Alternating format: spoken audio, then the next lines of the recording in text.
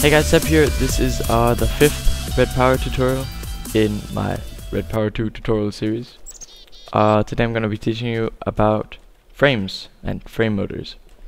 Right, uh, there are two parts to the frames. There are the frame motors, which are these things.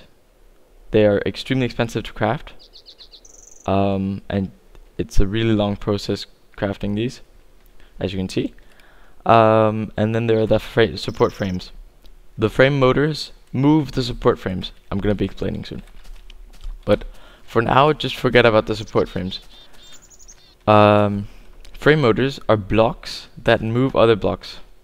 As you can see here on this frame motor, it has what looks like a conveyor belt.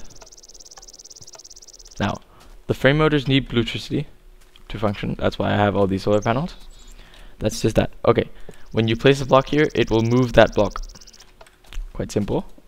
You can use your uh, sonic screwdriver to, uh, if you're standing normally, it will uh, switch which way the arrow is pointing and which way it will be moving the items. As you can see, it won't be moving it that way.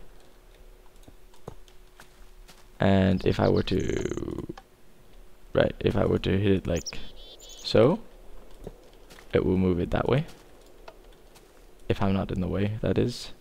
Okay, if I were to hit it so, to change it so that it would be pushing downwards, it would not move the block, of course. Oh god. There we go. Nothing will happen. It will cease to function. Right, let's just hit it once more and not break the lever. There we go. Okay. Um, another thing is if you hold shift while right click on it, it will change which face it's using, not just rotating the arrow. It's quite simple. Makes sense. And okay. Now, uh, the awesome thing about frame motors is that they can move frames. Uh, they can move other frame motors, sorry. As you can see. And they can move chests with items inside them. They can basically move any blocks with entity values. As you can see, they just get created and then everything's fine. Right, now to the frames. The frames part is the interesting part because these motors can move normal blocks, but they can also move what's called frames. These frames are like sticky blocks, kind of. Right, as you see, when we hit this lever, the frames will move. Okay. We're just gonna move this lever. That's another part of the explanation. Um, let's place it here. Right, what you'll be able to see now is that all of these frames, just get this out of the way, all of these frames move together as a whole because they all stick to each other. You can see this as like normal blocks that have um, stick uh, sticky stuff on them to connect stuff. Right, this means that if I place blocks on the side, it will move those blocks with it. As you can see. Very interesting. Okay. If we were to break these blocks, place them down here, the same thing would happen. It will just move it. God, can I reach it from here? Okay, um, yeah, that's basically how that works. Now, if there are, well, yeah, you can build out frame motors in any direction you want. They'll always move by one frame motor. It's kind of defying physics, the laws of physics, but yeah. As you can see if I hit it, it'll all move. Quite cool. Okay. One thing to note is that if the frame frames, the support frames, are trying to move a block they cannot move, like the ground, it will cease to function basically it will just not move at all as you can see. Because this frame here is trying to move this dirt block. Now if I break the blocks around it it'll be able to move that dirt block and the whole thing will move. Or not. Why would that not move? Let us see. Right it was just because I had to hit it another time. Yeah uh, that's how that works Okay, um, now, I know what you're thinking. what if I want to build a structure up against some blocks that I, I don't want it to move the blocks? Like, if I had a wall here, let's say. And, uh, okay, this won't be able to work.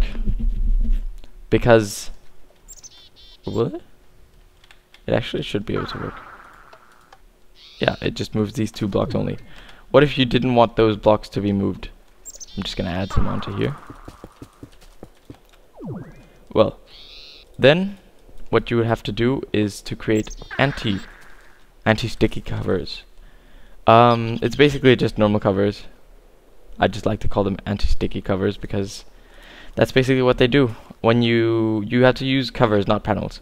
When you place covers on the side of these, they turn the same color. So it works for aesthetics and also for what you're going to see now.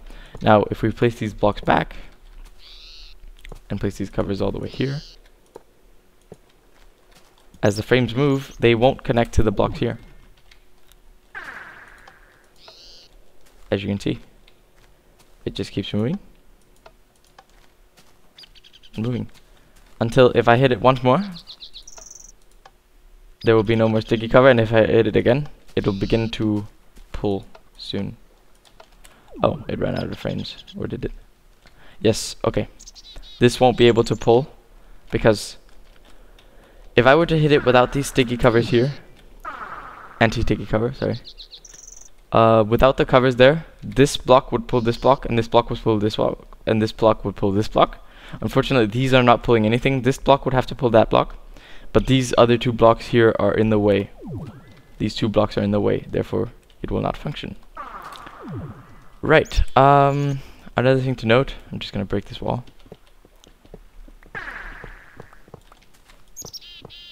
Okay, um, frames need to, if you want to move objects, they have to be connected directly to frames. As I showed you before.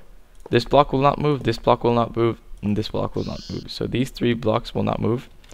The problem is if you place it in front, you're trying to move a block that's not being moved by frames. It's not like pistons that are able to push several blocks in front. Frames aren't able to push anything but what they're connected to. So this won't function at all. As you can see, it's not moving. If we were to break that block, these three would move, but these three would just stay in place as you will be able to see. Now the whole thing moved but these got uh, these stayed back. Right okay so I hope you uh, understand the idea of using covers uh, to prevent the frames from sticking onto things now I'm going to be showing you how to use the um, panels panels are basically the same thing except for the fact that as you can see they also have a different look because well, first of all, they're thicker, which isn't shown. It's a glitch. These are supposed to be thicker here, but you can see it keeps the outline, whereas this doesn't keep the same outline. Right, the panels have a special purpose, because when placed, not like that. These. Okay, when placed, they will bring wiring and stuff. So let's bring some alloy wire and let's say uh, timer. Right, actually I'm only gonna need one. Or a couple, actually. Might as well bring a couple. This is basically just to show that the panels are created so that they will be able to carry wiring.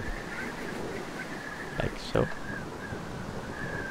Okay, so basically if we were to make this move, the wiring will move along. Whereas if we were to place these things on covers instead of panels, but um, covers instead of panels, then we would not get the same result.